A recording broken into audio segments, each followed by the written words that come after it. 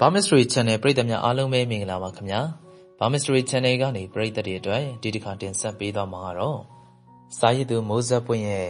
အချစ်ဘဲကစလို့အမည်ရတဲ့စိတ်ဝင်စားဖွယ်ဇလန်းလေးရဲ့အပိုင်းနှစ်ကိုတင်ဆက်ပေးသွားမှာပဲဖြစ်ပါတယ်ခင်ဗျာ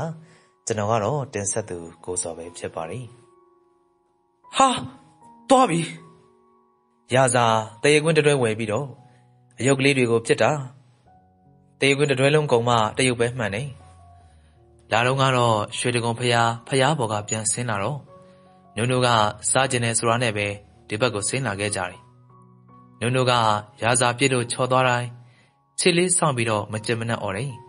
နောက်တည်းဝေပြီးတော့တကွင်းဆွဲပစ်လိုက်တော့အေးမှန်တယ်ပေးအောင်နောက်တကွင်းနုံနုကတေးပင်ကွင်းလေးတွေကိုကင်ထားလိတာကြောင့်ရာဇာနောက်တကွင်းတောင်းပြီးတော့ပြစ်လိုက်ပြန်တယ်ချော်သွားပြီကိုကြီးကအတော့မှမကြတာဟေး ဒီလောက်ထိလက်ဆန်ကြီးရှည်နေရကိုမှန်အောင်မပြစ်နိုင်ဘူးဒီတစ်ခါမှန်အောင်ပြစ်မယ်မပြစ်နဲ့တကွန်းထပ်ပြီမပေးဘူးဟာရာဇာနှခမ်းလေးစုနေတဲ့နုံနုံကိုငုံကြည့်ပြီးတော့ရီလေးတယ်သူမကလည်းသူပါပဲတရေကွင်းကိုဆွဲပြီးတော့အယုတ်ကိုချိန်တိုင်းလက်ကမငိမ့်ငငယ်တုန်းကဆိုရင်လက်တုံတဲ့ကလူကြီးတွေကအိမ်မြောင်ဥကိုကင်လို့လက်တုံတာလို့စတာကိုတကယ်ထင်ပြီးအိမ်မြောင်ဥလေးတွေ့တဲ့အခါမှာကင်ကြည့်ပြီးတော့ လက်မတုံတာကိုတုံတယ်လို့ကိုယ့်ဘာသာလုပ်ပြီး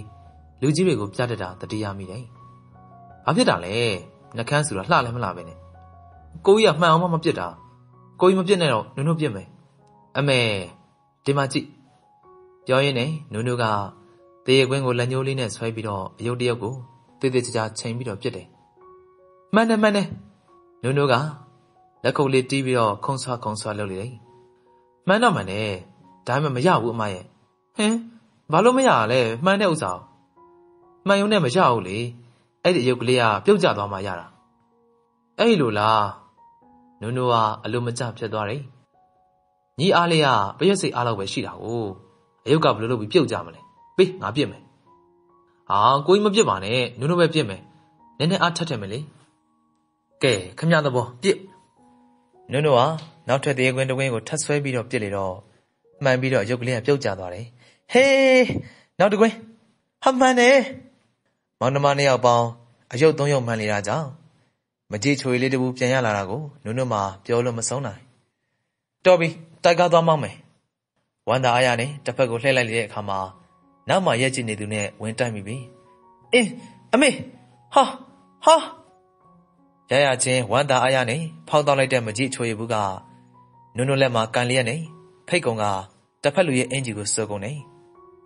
အဲ sorry ဟဲတောင်းမရင်မောအကြည့်ကိုကိုဒေါသမျက်ဝန်းနဲ့ပြန်ကြည့်နေသူရဲ့မျက်နှာကိုမြင်လိုက်ရတော့လက်ထက်ကအချွေရည်ဘူးလေးကိုလမ်းဖြတ်လွတ်ချလိုက်မိတယ်အချွေရည်ဘူးကဂျိုးမွေနေသလားတော့မသိသူ့ခြေထောက်ကိုပဲထက်ကျသွားလေတော့နုံနုံကမျက်လုံးကလေးဝိုင်းပါဇက်ကလေးပွင့်ဟာလျက်သူ့ကိုပဲငေးကြောင်ကြောင်လေးကြည့်နေမိတယ်မင်းငါမှန်းသိလို့တမင်လောက်တာမဟုတ်လားဟဲ့အဲငါနဲ့တွေ့တိုင်း မင်းဘက်ဝင်တက်နေတာသဘောရမဖြစ်နိုင်ဘူးမင်းဘာဖြစ်ချင်နေရလဲရှေ့ကလူတွေအတိုင်းငါနဲ့တွဲခွင့်ရလိုက်ရင်မဆိုးဘူးဆိုတဲ့စိတ်ကူးနဲ့အိုးမဟုတ်ပါဘူးတကယ်မတော်တဆပါဝင်ကပါရဲ့မင်းဒီလိုမတော်တဆတွေများလာတာကိုငါယုံပေးရမှာလားငါနဲ့ပတ်သက်ချင်တက်တယ်ပြောလိုက်အခုလက်ဆွဲခေါ်သွားပေးမယ်ဝင်ကပါဟဲ့ကောင်တမကဝင်ကပါလက်ကိုဆွဲခေါ်တယ်လို့ရာဇာကဝင်ကပရှစ်မှလာရက်တယ် မင်းနှမချင်းစာနာစိတ်လေးတော့ထားတင်ပါတယ်အခုမင်းစကားတွေကဖောင်းဖြစ်နေပြီမတော်တဆဝင်တိုက်တာဘသူ့ကိုမင်းကြည့်ကြည့်သိတယ်တမင်လို့ပြောရအောင်မင်းရပါလေခမည်းကရောသူနဲ့ဘလို့ပတ်သက်လို့ဝင်ပြောနေရလဲဒါငါညမားကွာမင်းပြောတဲ့စကားအကိုတယောက်အနေနဲ့မသိသလိုရက်ကြည့်နေပြီးရင်ငါနွားဖြစ်ပြီဒါခမည်းပိုင်းလေကျွန်တော်ဘက်ကဘာကြောင့်ဒီစကားမျိုးပြောရတယ်ဆိုတာခမည်းညမားသိတယ်ရာဇာကညီမဖြစ်သူကိုစုခနဲ့ကြည့်လိုက်တယ်။ ကဲပါဝင်ကပါရာတို့သွားရအောင်။ဟိုမှာနောက်တစ်ဖက်တိုက်ကားဝင်းတဲ့ကိုရောက်ကုန်ပြီ။အမေဝင်ကပါကတက်ခေါက်သွားတော့ရာဇာကရှေ့တိုးလိုက်မယ်လို့တုံးနုံနုံကဆွဲထားတယ်။တော်ပါတော့ကိုကြီးရဲ့နုံနုံတောင်းမှန်ပါတယ်။အခုလိုဖြစ်တာနုံနုံအဖြစ်ပါ။နုံနုံမျက်ရည်ဝဲနေတာကိုမြင်ရတော့ရာဇာကစိတ်မကောင်းဖြစ်မိတယ်။တစ်ဖက်မှာတော့ဒေါသကမဖြစ်နိုင်။ကိုညမကိုပြောလိုက်တာများဖွဲထောင်းလို့ဆန်ကောင်းမရ။သူ့ကိုသူရုပ်ချောတယ်ဆိုပြီးတော့ဘဝင်လေဟတ်နေတာဖြစ်မှာပေါ့ သူ့ဘာသာဘဝင်ပဲယူယူဘာပဲယူယူဘသူကကျူးဆိုင်မှလဲအဲ့လိုကောင်မျိုးတွေပဲကြပြီဆိုကြောင်ကြမ်းမကြပဲခွေးကြကြကုန်တာနုံနုံတို့သွားရအောင်ကိုကြီးအဲ့ဒီကောင်ဘဲရလဲနုံနုံတို့ကြောင်းကပါဒါကြောင့်ငါဆရာဝန်လောက်ရုပ်ချောတယ်ဆိုပြီးမန်တက်နေရဖြစ်မှာပေါ့သူမန်တက်တာရောဘသူကကျူးဆိုင်မှလဲကဲပါလာသွားမယ်နုံနုံကဆွဲခေါ်လျာကြောင့်ရာဇာကမကြင်မနဲ့နဲ့ပဲလှဲ့ကြည့်လှဲ့ကြည့်နဲ့ပါသွားလေတယ် ဝင်ကဘာနဲ့တမမှာတိုက်ကားမောင်းနေကြတယ်ဝင်ကဘာကသာရေမောနေပြီးပြီးခဲ့တာကိုထားခဲ့ပြီးတော့မေးလွယ်ပြောက်လွယ်ရှိနေပေမဲ့တမကတော့မျက်ရည်ဝဲဝဲလေးနဲ့ပါဇက်ဟောင်းသားဖြစ်ပြီးတော့ဝင်ကဘာကိုမောကြည့်နေရှာတဲ့ကောင်မလေးတွေစိတ်မကောင်းဖြစ်နေမိတယ်။ဘာပဲဖြစ်ဖြစ်ဝင်ကဘာအဲ့လိုကြီးတော့မပြောသင့်မေ။သူအာယုံနဲ့သူကစားနေတာကိုရက်ကြည့်နေမိတာကသူတို့ပဲမဟုတ်ဘူးလား။နောက်မှရက်နေသူကိုဝင်ကဘာမှန်းသိလို့တမင်ဝင်တိုက်တယ်လို့ပြောရအောင်။ ကောင်မလေးရဲ့နောက်စစ်မှာမျက်လုံးအပူတက်ထားတာမှမဟုတ်တာပဲလေ။ဒါကိုတမားကနားလည်ပေးနိုင်တယ်။တမဝင်ကဘာခေါ်တာကိုတမမကြပြီ။တမဟဲ့ကောင်အင်းဟဲ့ဘာလဲဘာဖြစ်နေရလဲပြီးပြီလေသွားမယ်။ဝင်ကဘာကမတ်တရက်ကခေါ်နေပြီ။တမကတိုက်ကားလေးပေါ်မှာပဲထိုင်နေသေးတာမို့ဝင်ကဘာလက်ဆွဲခေါ်မှကမန်ကနန်ထားလိုက်ရတယ်။မင်းဘာဖြစ်နေရလဲ။ စောစောကိစ္စအတွက်ငါစိတ်မကောင်းဖြစ်နေရ။ဘာလို့လဲ။တမကမရင်မပြုံးမျက်နှာနဲ့ဝင်ကဘာကိုစစ်စစ်ကြည့်လျက်မင်းဘာပဲလုပ်လို့ဆိုးတာကောင်းတာငါဘယ်တော့မှမဝေဖန်ခဲ့ဘူးစောစောကကိစ္စမှာတော့မင်းမှားတယ်ဝင်ကပါဘာသူပြောတယ်လို့ပဲလေဝင်ကပါဘာပဲလုပ်လို့တမားဘယ်တော့မှမြောက်ပေးတာတိုက်တွန်းတာမလုပ်ခဲ့တယ်လို့မင်းလုပ်တာမှားတယ်ဘာတော့မလုပ်နဲ့ ဘယ်ကိုမသွားနဲ့ဆိုတာမျိုးလဲတားဆီးဖူးတာမရှိဘူးရှေ့ကိုအာယုံစိုက်နေတဲ့သူကမင်းမှန်းသိပြီးတော့တမေဝင်တိုက်ရလောက်အောင်အဲ့ဒီကောင်မလေးရဲ့နောက်စစ်မှာမျက်လုံးအပုံပါတာသိကြပါတယ်ခါတိုင်းငါဘာပဲလုပ်လို့မဝေဖန်ဘူးအခုကြမှာငါမှားတယ်ဆိုတော့မင်းဘာဖြစ်သွားလဲတမမင်းပြောလိုက်တာအနားမှာလူအများရှိနေလို့ပေါ့တစစ်တစောင်းကြည့်နေတဲ့မျက်လုံးမှန်သမျှထဲမှာကောင်မလေးကိုတနာသွားတဲ့အရေးအောင်တွေနဲ့ တငယ်ချင်းကကိုကိုအပြစ်တင်လိုက်တာမို့ဝင်ကပရဲ့စိတ်ထဲမှာဖြင်းခနဲ့ဖြစ်သွားတယ်အဲ့ဒါဟိုကောင်မလေးကြောင့်အန်ဩပါရဲ့နုံနုံရဲ့နေမို့လို့ငိမ့်ခံနေရငါသာဆိုရင်လေအဲ့ဒီနေရာမှာနေပါပြန်ရိုက်ခဲ့တယ်။အောင်ကျော်မို့ကလက်ဝါးတထောင်ထောင်နဲ့ပြောလေတယ်။ဘသူမဆိုကိုတငယ်ချင်းကိုဗလိုင်းကြီးဖဲ့သွားတယ်ဆိုတာကြားရတော့ဒေါသဖြစ်မှာပဲပေါ့။ရွှေစကားကတော့မို့မို့လို့ဒေါသရိပ်တွေမပြဘဲနုံနုံကိုတူတူကလေးစိုက်ကြည့်နေတယ်။ ငါတကယ် သူမှမသိတာပါ။သိလိုက်ရတော့လေကိုကြီးရှင်းမှာမို့ အဲ့လိုကြီးပြောမယ်မထင်ဘူး။ပြောသွားတော့ နင်ဘာမှ မတုံ့ပြန်နိုင်ဘူး မဟုတ်လား။ဟုတ်တယ်မို့မို့ ငါဘာမှကို မပြောနိုင်တာ ရွှေစကား နုံနုရဲ့ လက်ဖြားလေးကိုစုပ်ကန်လိုက်တယ် ဒီလောက်ဆို စကားသိပါပြီ နုံနုလက်ထဲမှာ ဟိုနေ့ကတော့ကြိတ်ကလေး အမတ်မထင် တွေ့လိုက်ရပြီကလေးက စကားစဉ်းစားနေခဲ့တာ နုံနုသာ ဝင်းကဘာကို စိတ်ဝင်စားမနေဘူးဆိုလို့ရှိရင် မနေ့ကဖြစ်ခဲ့တဲ့ကိစ္စအတွက်နုံနုဒီနေ့ထိမျက်ရည်တဝဲဝဲဖြစ်နေမှာမဟုတ်ပြီနုံနုဟင်ငါမေးမယ်နင်မမှန်ဖြစ်နော်စကားကိုပြန်ကြည့်လိုက်တဲ့နုံနုပုံစံကခလေးတယောက်လိုပြီးမှခေါင်းညိပြီးอืมနေဝင်းကဘာကိုစိတ်ဝင်စားနေရမဟုတ်လားနုံနုကဘာမှပြန်မဖြစ်ပဲညနာလွှဲသွားတယ်စိတ်စိတ်နေခြင်းဟာဝန်ခံခြင်းဆိုပေမဲ့ပါဇက်ကဖြေတာကိုပဲစကားကကြားကျင်နေတာဟုတ်လားနုံနု ငါမညာခြင်းဘူးစကားရဲ့ဝန်ခံတာလားဟုတ်တယ်ထင်သားပဲဘာနုံနုနင်ကဝိန်ကဘာကိုစိတ်ဝင်စားနေရင်ဟုတ်လားတေလိုက်ရှေ့ကနွားလာဖြောက်ဖြောက်မသွားနိုင်ကြတာတိတိကြီးနဲ့ကို့တေတွင်းကိုရက်နေရလားနုံနုရဲ့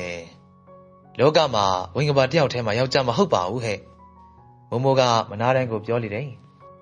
ရွှေစကားကမျက်စောင်းလှဲ့ထိုးလေးမှပါဇက်ပိတ်သွားတယ် နေဝင်ပြောပြန်ပြီလားမိုးမိုးရဲ့နေကအဲ့ဒီစကားပဲပြောမှာပေါ့ယောက်ျားလေးကိုငါနုံနုလို့ဖြူစင်တဲ့သူနဲ့ဝိန်ကဘာနဲ့မတန်ဘူးလို့ပြောတာတော်စမ်းပါစကားကနုနုဘက်ကိုပြန်လှည့်လာပြီနုနုနုနုဟေး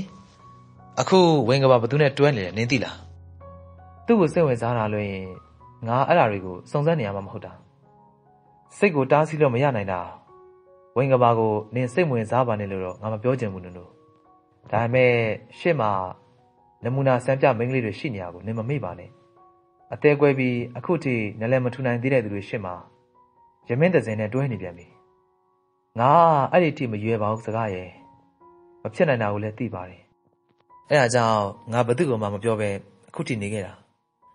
ဒါဆိုနင်သူ့ကိုစိတ်ဝင်စားတာကြာပြီပေါ့နုံနုံကတပြင်းလေးချလိုက်မိတယ်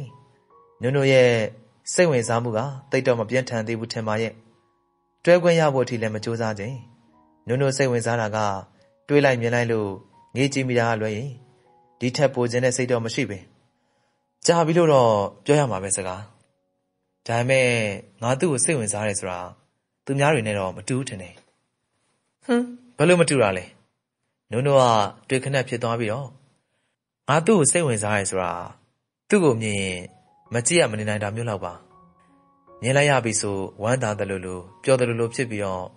သူ့ကွယ်သွားရင်တခုခုလိုနေတယ်လို့ရှင်ထဲမှာဟာကြမ်းခဲ့တာတွဲကြည့်ဖို့ချစ်ကြည့်ဖို့တွေတော့တခါမှစိတ်မကူးကြည့်ခဲ့ဘူးနင့်ဟာလည်းဘာကြီးတော့မိုးမိုးကနားမလဲနိုင်တယ်လို့ပြောလေတယ်စကားကတစ်ဖက်လဲသွားပြီးဘာကိုစဉ်းစားနေတယ်မသိမင်းစိတ်ကိုလက်ညှိုးထက်ကလေးနဲ့ကုတ်ချစ်ပြီးခေါင်းလေးငုံသွားလိုက်ပြန်မော့လာမလို့ဖြစ်လာလိုက်နဲ့အတန်ကြာမှာ ငါတခုခုစဉ်းစားမိရဲ့နုံနုံဘာလဲငါလည်းစောစောကလင်းပြောသလိုဖြစ်ဖူးတယ်ဟာဟင်ဟုတ်လားဘယ်တော့မှလဲဘယ်သူ့ကိုလဲစကားငါဖြစ်ဖူးတာမင်းသားတယောက်ဟာနေရလဲဟုတ်မလို့လို့နဲ့အဖျားရှိသွားတဲ့ရွှေစကားရဲ့စကားကြောင့်နုံနုံရောမမို့ပါအားမလို့အားမရဖြစ်သွားကြတယ်ငါတကယ်ပြောတာနုံနုံရဲ့အဲ့ဒီမင်းသားတရုတ်ဆောင်တဲ့စကားကိုကြည့်ပြီးငါအယမ်းပြောတယ် အခြားမင်းသားကိုကြတော့မကြည့်ချင်တယ်လို့မျိုးကြီးသူကားကြည့်ပြီးလို့ဇလန်ဆုံးပြီဆိုရင်ဘာကမှမသိပဲရှင်ထဲမှာဟာကျန်းခဲ့တာဟာတခါတလေနှခါပြန်ကြည့်ဖြစ်တယ်သူကချောလက်အရန်ချောတာဆိုတော့သူ့ပုံတွေဝဲကတ်တယ်ကုံကုံပြောရရင်ဟာအိမ်မက်ထဲမှာတော့ခဏခဏထက်မဲ့ဘူးလားအဲ့ဒါလောက်တောင်မဲလားမမိုးကတော့မဲကရွက်ကနဲ့မေးပြီးတော့နုံနုကစိတ်ဝင်စားစွာနားဆိုင်ထောင်းနေတယ် အဲ့ဒါလောက်ဆွဲလန်းခဲ့တာအမှန်ပဲဒါပေမဲ့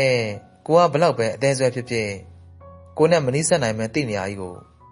လို့တို့စိတ်ကူးရင်ရင်ခုန်ကြည့်ဖို့ကြတော့ဘလို့မှမရဘူးဟာနေလဲအဲ့လိုဖြစ်နေပြီလားနုံနုရဲ့ဝင်ကဘာကမင်းသားမဟုတ်ပေမဲ့အရန်ချောတာကိုတမလည်းချောပါတယ်ဟဲ့အမေနေကတမကိုစိတ်ဝင်စားနေရလားမမို့ဝင်စားကြင်မှမရဘူးတန်လိုက်လို့လေဖိုးတဲ့ချင်းထိလို့မရအောင် တွန်းကန်အားပဲဖြစ်လာမှာပေါ့ခွေးစုပ်စကားထားထူတော့မိုးမိုးကအားခနဲ့អော်ပြီးနုံနုံရဲ့နောက်မှာသွားကွယ်နေတယ်ငါလည်းမသိတော့ပါဘူးဟာနင်ပြောသလိုပဲဖြစ်နေပြီလားဒါမှမဟုတ်ငါပြောသလိုပဲဟုတ်လိုက်ပါနုံနုံရဲ့အဲ့ဒါကနင့်အတွက်အန္တရာယ်မရှိဘူးလေတခုတော့ကွာတယ်လေနင်ပြောတာဖန်သားပြင်ပေါ်ကိစ္စငါမျက်မြင်ကိုယ်တွေ့ကြီးကိုခက်ပါလားလို့ကြောထုပေးပြီးသားဇဝေဇဝါစိတ်တွေကို အန်ချက်အောင်လုပ်ပေးလိုက်ခြင်းနဲ့အချစ်ဆူဆူလို့ရှိရင်နှုတ်ရခက်လို့နှင်းစီကိုမပန်းနဲ့စပယ်ကိုအစားထိုးပါဆိုပြီးတော့တပွင့်ချင်းကောက်တည်ပေးနေရပါနုံနုရဲ့ဝိုင်ကဘာဆိုတာနှင်းစီဆူမဟုတ်ဘူးအစိတ်လူးထားတဲ့မြတစ်ချောင်းမို့ဆောင်းရံကိုကြက်ချေခတ်ပြီးတော့ရှောင်းလိုက်စမ်းပါနုံနုရဲ့နုံနုရဲ့အလှပြင်ခြင်းကိစ္စကမိတ်ကက်ကလေးပါပါခံခရင်ဘက်လေးတစ်ချက်နှစ်ချက်တိုးဘက်နဲ့ဟိုပုတ်ဒီပုတ်ပြီးတော့ မျက်ခုံးနှစ်ဖက်ကို brush ကလေးနဲ့ချစ်ပြည့်ရုံနဲ့ပြီးစီးသွားတယ်ငငယ်ကလေးကဆရာဝန်ဖြစ်ခြင်းတယ်လို့ဆိုကစားကလွယ်လို့ရှိရင်ဘာမှဂိူးမဆိုင်အားခဲတဲ့အကျင့်ယခုထိတိုင်အလှပနဲ့ပတ်သက်ပြီးနုံနုဘာမှမပြုတ်ပြင်းတတ်ပြီနှခမ်းနီလီမွန်ရောင်လေးဆိုးပြီးတော့မနေတတ်တော့ကလေးတွေလိုနှခမ်းနီပြက်မှဆိုးလို့ဆိုပြီးနှခမ်းလေးစွချွန်ထားရတယ်လို့ဟပြီးပဲမထိအောင်နေရမလို့နဲ့အပေါ်နဲ့အောက်နှခမ်းချင်းပုတ်မိတာကလည်းမကြခဏပါ မမဟမ်ဘာလဲညညဘဘကပြီးပြီလားတဲ့အေးပြီးတော့မယ်လို့ပြောလိုက်ဟုတ်ကဲ့ညညပြန်ထွက်သွားတာနဲ့ရင်းညစ်အောင်ဝက်ဆက်ကလေးတရံကိုထုတ်ပြီးတော့လဲဝတ်လိုက်တယ်ပြီးတော့ကြောလေလောက်ရှိတဲ့စပင်အဖြောင့်လေးကိုဖြီးပြီးတော့ဒီအတိုင်းဖြတ်ချပြီးတော့လက်ကအိတ်ကလေးဆွဲယူကထွက်လာခဲ့တယ်ဒါပြီးပြီပေါ့တမိပြီးပြီဖေဖေဥသာထက်တမိကိုခြေပြားကနေဆမ်းပြအစုံနှစ်ခေါက်ပြန်ကြည့်ပြီးတော့ဒါပဲလား ဒါပဲပေါ့ဖေဖေရဲ့ဘာရမြထူထူတူတူပြင်နေရအောင်ပါလေမဟုတ်ဘူးလေတမိရဲ့ဘာရတနာမှမစင်တော့ဘူးလားနုံနုကရီလိုက်ပြီးတော့ခါတိုင်းဝတ်နေကြဒီဆွဲကြိုးဒီနဲ့ဆွဲဒီလက်စွပ်နဲ့လည်းရပါတယ်ဖေဖေရဲ့ဖေဖေသမီးဘာရနာမှမဝတ်ပဲလက်ရှိဝတ်ထားတာတွေပါချွတ်ထားခဲ့ရင်တော့ဖေဖေလက်ကိုဆွဲပြီးတော့ဖေဖေနာမှာကတ်လိုက်တာနဲ့ဥသားထက်ရဲ့သမီးဆိုပြီးဂုံးရှိပြီးသားရတနာဆိုတာဝတ်မထားပေမဲ့ ကြည့်တဲ့သူရဲ့မျက်လုံးထဲမှာသူတို့လိုလိုစဉ်းကြည့်ပြီးသားဖြစ်နေမှာပါဖေဖေရဲ့ဟာဟာဖေဖေသမီးဒီလောက်စကားတက်မှမသိဘူးကွာတကယ်ပဲကဲဟုတ်ပါပြီဖေဖေသမီးကဘလို့ပဲနေနေလှပြီးသားပဲဥစားအာချင်လိုက်တာကိုငချင်းကိုချင်းနဲ့ဆိုတဲ့သဘောကိုနုံနုကမျက်နှာလေးရှုံးမဲ့ပြီးអော်ပြလိုက်တော့ဥသားထိုက်ကသဘောကျစွာကြီးနေတယ်မိဘမျက်စိထဲမှာတော့ကိုသားသမီးတီတာကဘာပေါ်မှာအလားဆုံးအထင်ပေါ်ဆုံးပါ ဥသားထက်သမီးလက်ကလေးကိုဆွဲပြီးတော့ကားပေါ်ကိုတက်ခဲ့တယ်သူတို့သွားမှာကတငယ်ချင်းရဲ့သားမွေးနေ့ပွဲကိုပါလူကြီးတွေမှာအစီအစဉ်နဲ့ပေမဲ့ဥတာထက်သမီးကိုဖွင့်မပြောရသေးပါကလေးချင်းအရင်မြင်ဘူးတွေ့ဘူးကြပါစေတဲ့ဟောကိုတာထက်တို့လာပြီလာကွာတာထက်ရက်မနေပါဘူးကွာလာနေပါတယ်ဥကဘာကျော်ကဥတာထက်တို့သားဖားကိုနေရာချပေးပြီးမှဖြိုးရိပ်မင်းတော့ခေါ်ပါအောင်ကွာဒီမှာသမီးလေးနဲ့မိတ်ဆက်ပေးအောင် မိတ်ဆက်ပေးရမယ်ဒါပြောရတာတကြောင်တည်းဆိုတော့သူတို့ချင်းများသိများသိနေမလားပဲမင်းကလည်းရှာရှိလိုက်တာကွာခေါ်မှသာသွားခေါ်စမ်းပါခေါ်မှပါကိုကဘာကျော်ရဲ့လောလိုက်တာဒေါ်ဖြူဖြူကြီးထွက်သွားပြီးမှဥကဘာကျော်ကတားထက်ဟင်မင်းဟိုဘက်ဝိုင်းကိုခဏလိုက်ခဲ့ပါလားတို့ရဲ့ဟိုဘက်ခြံကဥမျိုးတိုင်းနဲ့မိတ်ဆက်ပေးခြင်းတို့ကဘာကျော်ညံနေညံနဲ့ညားပြီဆိုတာကိုဥတာထက်သိလိုက်တယ်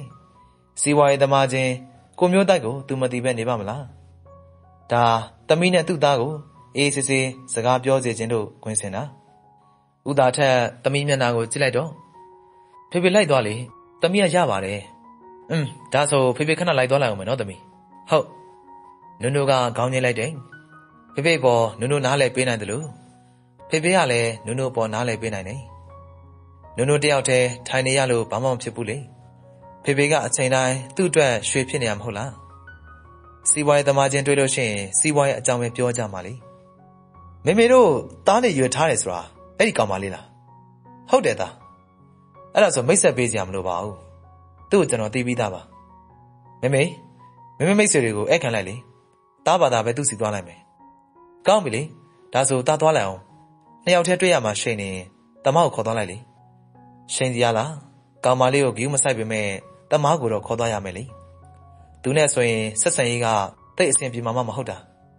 ဘယ်ဘဝကရေဆက်ကြောင်းလေးတော့မသိဘူးအဲ့ဒီကောင်မလေးကိုဝင်ကဘာကလုံးဝကြည့်လို့မရပြီငကြင်းချောက်ကိုကြက်တင်ထားတဲ့ပုံစံနဲ့တမမင်းငါနဲ့လိုက်ခဲ့သူရိယနဲ့ဘုံမြတ်ရောက်နေတာငါရှိနေမှာဖြစ်မှာပေါ့ဒါငါမွေးနေပွဲနော်ရေးကြည့်တာဘာလို့လဲပြီးမှငါဘာသာအိတ်ခံမှာပေါ့ပြောလဲပြောလက်ကိုပါဖိဆုပ်ခေါ်လာလျာကြောင့်တမကလိုက်လာခဲ့တယ်ဝင်ကဘာက အနောက်တိုင်းဝတ်စုံခိုးပြရောင်ကိုဝတ်ထားပြီးတော့တမကဖြူရောင်နဲ့နှစ်ယောက်စလုံးကတမျိုးစီရှင်းသက်ချုံးမွေနေကြတယ်မျက်လုံးအတော်များများကလည်းသူတို့နှစ်ယောက်ကိုလိုက်ကြည့်နေကြတယ်မင်းအဆင်ပြေပြေစကားပြောနေဝင်ကပါဟိုကလည်းမွေးနေ့ရှင်မင်းပါလို့တီးထားဖို့မပေါ်ဘူးမင်းကဘာလို့အတက်ပြောနေရမင်းထင်တယ်လို့မျိုးမင်းမှန်းသိလို့လာတာဒါမှမဟုတ်လူကြီးတွေစီမံတဲ့ကိစ္စကိုသိနေရင်သူမင်းစီကိုလာမှာပေါ့အခုကြည့်လေထိုင်နေရအေးစစ်စစ်ပဲ မင်းမဆက်ကိုပိတ်တော့ဝင်ကဘာတို့ကောင်းမလေးကမမြင်ပြီသူ့ဘာသာမျက်နှာချင်းဆိုင်ဝိုင်းကမဒီချောချောလေးတွေကိုငင်းနေတယ်သူများကိုငေးမှာပေါ့သူကသူများတွေလိုမှမလှတာဟိတ်ဝင်ကဘာစပွဲကိုလက်နဲ့ပုတ်ကခေါ်လိုက်တယ်ဟင်နုံနုံအော်မင်းသက်သွားစင်မှာပဲဝင်ကဘာနဲ့တမားကဝင်ထန်လိုက်ကြတယ်မင်းကဥတာထက်ရဲ့သမီးနော်ဟုတ်မေမေကမင်းကိုတွားနှုတ်ဆက်လိုက်ပါအောင်ဆိုလို့လာတာ ငါ့ကိုတော့မင်းသိပြီးသားပါမင်းကိုတော့ငါနာမည်မသိသေးဘူးမေးတာမဟုတ်ဘူးနော်မသိတာကိုပြောပြတာမေးတာမဟုတ်ဘူးဆိုပေမဲ့နာမည်မသိတော့အခေါ်ရခက်နေမှာဆိုရနေနုံနုကခေါင်းလေးညစ်ကတို့နာမည်ကအမျက်တနိုးပါအလုံးကတော့နုံနုလို့ခေါ်ကြပါတယ်တခါတည်းဆက်ပြောပြစီတို့ဒီကိုလာတာဝင်းကပမွေးနေမှန်သိလို့လာခဲ့တာမဟုတ်ပါဘူးဖေဖေခေါ်လို့လိုက်လာတာဖေဖေမိတ်ဆွေရဲ့သားဆိုတဲ့အသိနဲ့တင်ပါဘသူမေးလို့ရှင်းပြတာလဲ တို့ဘမှာဝင်ကဘာကအမြင်ဆောင်တက်လို့ပါဝင်ကဘာကမဲပြုံးပြုံးလိုက်တယ်မဟုတ်ဘူးမသိဘူးဆိုတော့လဲပြီးတာပဲပေါ့ကိုလာပြီးနှုတ်ဆက်ရတာကလည်းမေမေတို့စိတ်ချမ်းသာအောင်ဝတ်ကြတန်းကြပဲလေတမဟင်မေမေသူ့ကိုအဖော်လုပ်ပေးလိုက်ကွာငါဟိုကောင်လေးစီကိုသွားလိုက်အောင်မယ်ခေါင်းညိခေါင်းခါပင်မဆောင်မယ်ဝင်ကဘာကတုတ်ခနဲ့ထားသွားလေတယ်တမဆက်ထိုင်နေခဲ့ပြီးမှဘလို့စကားဆ၍ဘာပြောရမှန်းမသိပဲနှစ်ယောက်ကြားမှာတိတ်ဆိတ်နေတယ်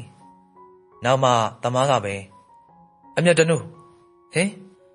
ခေါ်ရတာတိတ်အဆင်မပြေဘူးနုနုလိုပဲခေါ်ရမလားရှားပါတယ်ခေါ်လေဟိုတခါကိစ္စအတွက်တို့စိတ်မကောင်းပါဘူးမင်းတမင်ဝင်တိုက်တာမဟုတ်မှန်တို့သိတယ်နုနုကတော့စိတ်ထဲမထားပါဘူးမေးပြစ်လိုက်ပြီအဲ့ဒါတော့လွယ်သလားလူကများရှေ့မှာဆွဆွဲခံလိုက်ရတဲ့အဖြစ်ကပိန်ရွက်ပေါ်ရေလောင်းချသလိုချက်ချင်းချောကြပြီးဘာမှမကြံခဲ့ဘူးတဲ့လားတကယ်ပဲအဲ့လို မေ့လွယ်ပြောက်လဲဆိုရင်စောစောကဘာလို့ဖြစ်ရှင်းချက်တွေထုတ်သေးလဲဒါနဲ့တမားကိုနုနုမေးချင်တာတော့ရှိတယ်ဆက်စုတယ်ထင်မှလဲကြောက်တယ်ဟွန်းဘာလဲနုနုမေးရင်စိတ်ဆိုးမှလားယင်ဖြည့်တဲ့မေကုန်းဆိုရင်တို့ဖြစ်မယ်မဖြင်းချင်းမဖြင်းပဲရှိတယ်ပောက်ကွဲဖို့မှမလိုတာဒါဆိုမေးမယ်တမားကဘာမေးမလဲလို့နားဆွနေတယ်တမားကဘာလို့အမြဲတမ်းခတ်တည်နေနေရလဲ ဝင်ကဘာလို့အပြုံးရင်မရှိဘူးနော်ကိုဘဝကိုစိတ်တိုင်းမကြလို့ဘာလို့စိတ်တိုင်းမကြရလဲနုံနုကထပ်ပြီးတော့တမားကမဖြေတော့ဘူးညနာလွှဲသွားတော့နုံနုပဲအားနာတယ်လို့ဖြစ်ရပြန်တယ်သူ့မှာဘာတွေများနာကျင်ကြေကွဲစရာတွေရှိနေပါလိမ့်ဝင်းနေပွဲကအပြန်တားဖတွေကားပေါ်မှာတိတ်ဆိတ်လျက်စကားမပြောဖြစ်ကြမပြောမစိုးအတွေးကိုစီနဲ့လေဥသားထက်စဉ်းစားနေရကသမီးနဲ့ဝင်ကဘာကိစ္စပါ ဝင်ကဘာကအရန်ချောပြီးတော့သမီးကတာမန်ပဲလေဝင်ကဘာသမီးကိုချစ်နိုင်ပါမလားအချစ်မပါတဲ့အိမ်တော်ကြီးကစားမပါတဲ့ဟင်းလိုပဲဆိုတာကိုကလက်တွေးကြကြသိထားခဲ့ပြီးပြီဒါကြောင့်မင်းသမီးကိုဖွင့်ပြောပြီလားတာထက်မပြောရသေးဘူးစောပါသေးရဲ့ကွာဟာမစောတော့ဘူးလေကျုပ်တင်အတိပေးထားမှသူတို့စဉ်းစားလို့ရမှာကွာသမီးကိုမပြောခင်အခုပဲငါစဉ်းစားနေရပြီဘာလို့လဲ မင်းသားကအရန်ချောနေတယ်ဟေးငါသမီးကတာမန်မိန်းကလေးဖြစ်နေတော့သမီးရဲ့အိမ်တော်ကြီးကိုငါမဆုံးဖြတ်ချင်ဘူးအချစ်မပါပဲလူကြီးတွေပေးစားလို့ယူပြီးမှစိတ်ဆင်းရဲနေရမှာစိုးတယ်ငါအကြောက်ဆုံးကငါသမီးစိတ်ဆင်းရဲရမှာကိုပဲမလန်မကန်ဝိုင်းကနေသမီးတို့ဝိုင်းကိုလှမ်းကြည့်အကဲခတ်ပြီးဥတာထက်ပြောလိုက်ခြင်းပါဝင်ကပပုံစံကသမီးကိုမလိုလားဟန်တွေအပြစ်နဲ့ဒါကိုကိုကဇွတ်တိုးပြီးတော့သမီးနဲ့ပေးစားရမှာလား ရောက်ခမကိုအားနာလို့ထုံသွားကိုချွတ်ပေးတဲ့အဖြစ်မျိုးတော့အရောက်မခံနိုင်ပြီတငယ်ချင်းကိုအားနာလို့ဆိုပြီးသမီးရဲ့အိမ်အောင်ရေးကိစ္စအတွက်ဇိုးမိတ်ခေါင်းညစ်လိုက်ရင်ကလေးတွေလိုမလိုကောင်မှငါဥပုပ်ပြန်ပေးဆိုပြီးတောင်းလို့ရတဲ့အရာလည်းမဟုတ်သမီးကိုလင်ကုံရှုံပြီးတစ်သလုံးမှောက်မဲ့အဖြစ်မျိုးမကြုံစေချင်ပါတော်ကြတက်ကြချမ်းသာကြတာချင်းတူတူလှတဲ့သူကအလှမှန်ထောင်ပြီးအနိုင်ကျင့်နေ တစ်သက်လုံးစိတ်ဆင်းရဲနေရမှာကကိုသမီးလေးလေကလေးတွေကိစ္စအတွက်ငါတောင်းပန်နေကပါခမင်းခမမတော်ရလဲမင်းနဲ့ငါအချစ်ဆုံးတငယ်ချင်းတွေပါမင်းသားရဲ့ဆန္ဒမပါပဲဒီကိစ္စကိုမစီစဉ်ပါနဲ့ငါသိနေတယ်သမီးကဝင်ကဘာကိုချစ်နိုင်ပေမဲ့ဝင်ကဘာကသမီးကိုချစ်နိုင်မှာမဟုတ်ဘူးမင်းကဘာကိုကြည့်ပြီးဆုံးဖြတ်တာလဲငါသမီးကအခုတည်းရီးစားတယောက်မှမထားဘူးသေးဘူးကပါဝင်ကဘာက တွဲခဲ့သမျှမိန်းကလေးတွေအားလုံးမင်းသမီးလှုပ်လို့ရတဲ့ယုံမျိုးတွေကြီးပဲဆိုတာငါသိထားတယ်ဥကဘာဘာပြောရမှန်းမသိပဲငိုင်းကြသွားခဲ့သည်လေကလေးတွေစိတ်မချမ်းသာရမယ့်အဖြစ်မျိုးကိုတို့တွေမဖန်တီးကြရင်ကောင်းမယ်အဲ့ဒီစကားနဲ့ဥတာထက်ဆုံးသက်ခဲ့တာပါကိုတုံကလည်းမိဘတွေပေးစားလို့ယူခဲ့ကြတယ်ကိုကတာမယ်ရုပ်ရည်ကိုသာပိုင်ဆိုင်ပြီတမီးရဲ့မေမေကသူတို့เจ้าမှာကွင်းပွဲရထားသူပါ မိဘတွေကိုမလွန်ဆန်နိုင်လို့လက်ထက်ခဲကြတဲ့အထက်မှာကိုကချစ်ပြီးသူကမချစ်အဲ့တော့နှစ်ဦးနှစ်ဖက်စိတ်ဆင်းရဲကြရတယ်တမီးလေးသုံးနှစ်အရွယ်မှာလင်မယားချင်းစကားများပြီးအိမ်ကထွက်သွားတဲ့တမီးရဲ့မေမေဟာကာအစီရင်ဖြစ်ပြီးတော့ဆုံးသွားခဲ့တယ်။တမီးလေးကကုသိုလ်ကံနှုံချစွာဖအေးနဲ့လာတူနေတော့ဗမာချောတော့မှလေအသားဖြူတာကတော့သူ့အမေနဲ့တူတာပေါ့ဖေဖေဖေဖေအေးဟင် ဘာတွေတွင်းနေရလဲကောက်ကျူးဆိုင်မောင်လေးအေးပါသမီးရဲ့ဘာမှဖြစ်ပါဘူးအေးပါသမီးရဲ့ဆိုပေမဲ့အာယုံတွေကစူးစီးလို့မရနိုင်အောင်ပြန့်လွင့်နေတယ်ကဘာတို့လင်မယားကသမီးပေါ့မိဘရင်းတွေတပွဲကောင်းကြမယ်ဆိုတာယုံကြည်ပေမယ့်ကို့သမီးကိုစကားပြောနေရပဲမျက်မှောင်ကျုပ်ပြီးမလိုလားစွာကြည့်နေတဲ့မျက်လုံးတွေကိုမြင်ရတော့သူဘလောက်ရင်နာခဲ့ရတယ်လဲကိုကသမီးကိုသူများစစ်စစ်ကြည့်တာပဲမခံကျင်တဲ့သူလောကမှာဝင်ကဘာတယောက်တည်း ယောက်ျားကောင်းယောက်ျားမြတ်ဖြစ်နေရင်တော့သမီးကိုအပြိုကြီးပဲလှုပ်ခန့်လိုက်တော့မယ်ဖေဖေဖေဖေရှင့်ပါဟာအချိန်မီကွဲလိုက်ပြီမယ်ကားကတစ်ဖက်ကတစ်ပင်ကြီးစီကိုဥတီသွားပြီသမီးတတိချာအာနုံနုံဘလောက်များကန်ဆိုးလိုက်ပါသလဲနော်မေမေတုန်းကလည်းကားအစီဒန့်ဖြစ်ပြီးတော့ဆုံးသွားခဲ့တာအခုဖေဖေလည်းဒီကားကြောင့်ပဲအသက်ပေးရပြန်ပြီကံကောင်းထောက်မစွာနုနုကလက်မဒဏ်ရာရတာနဲ့ လက်တစ်ဖက်ဆစ်လွဲသွားတာကလွဲပြီးအသက်ဘေးကနေလွတ်မြောက်ခဲ့ပြီမိဖေဖေကတော့အသက်ဆုံးရှုံးသွားခဲ့တယ်ငိုမနေပါနဲ့နုနုရဲ့နင်ဒီလိုငိုနေလို့လေနင့်ဖေဖေကအသက်ပြန်ရှင်လာမှမဟုတ်တာတို့ဘုရားရှင်လက်ထက်တုန်းကဗဒါဇာရီလို့လူမသေးတဲ့အင်္ဂါမုံညင်းစိတ်ကိုရှာခိုင်းခဲ့သေးတာမရခဲ့ဘူးမဟုတ်လားဒါတော့ဒါပေါ်စကားရဲ့ဒါပေမဲ့ဟာငါမှအားကိုးစရာဆိုလို့ဖေဖေပဲရှိတာ အခုဖေဖေကမရှိတော့ဘူးဆိုတော့ငါဘသူ့ကိုအားကိုးပြီးတော့ဘလို့နေရာမှမသိတော့ဘူးငါရင်ထဲမှာဦးရအသေးတွေမရှိတော့သလိုပဲဟာရွှေစကားကနုံနုံရဲ့လက်ကလေးကိုထွေးဆုပ်ထားလိုက်တယ်ဘလို့စကလုံးမျိုးတွေနဲ့အားပေးရမလဲတငယ်ချင်းရဲ့မမိုးကတော့စိတ်မကောင်းတဲ့အသွင်လေးနဲ့ဘာစကားတခွန်းမှမဆိုနုံနုံကိုအားပေးနှစ်သိမ့်ပေးခြင်းပဲမိစကလုံးကရှာမရပြီ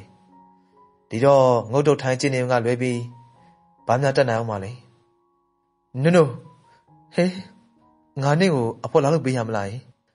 နေပါစီစကားရဲ့ငါနေသားကြအောင်တယောက်တည်းပဲနေပါမယ်ညညလည်းရှိနေရပဲလေနဲ့အနေကြီးတော့မလာဘူးလားလာပါတယ်ကိုကြီးကတင်းဖို့ပြန်တက်သွားပြီလေအနေကြီးတို့ကနေပြည်တော်ပြောင်းကြတော့မှာမမကြီးကဟိုမှာဆိုတော့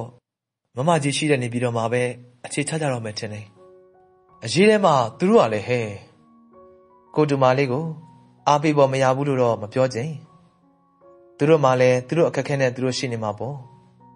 ငါနဲ့ကိုကူညီချင်ပါတယ်နုံနုရဲ့ဖြစ်နိုင်လေဝေဒနာတွေတဝက်ခွဲယူလိုက်ချင်တာမျိုးပါနုံနုကမျက်ရည်တွေကိုတုပ်လိုက်ပြီးဝတ်သွေးဆိုတာကို